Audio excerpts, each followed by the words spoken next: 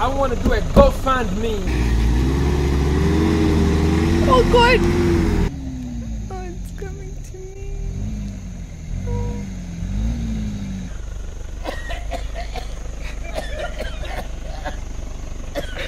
Listen, support me so I can get a new vehicle and go preach the gospel. Thank you.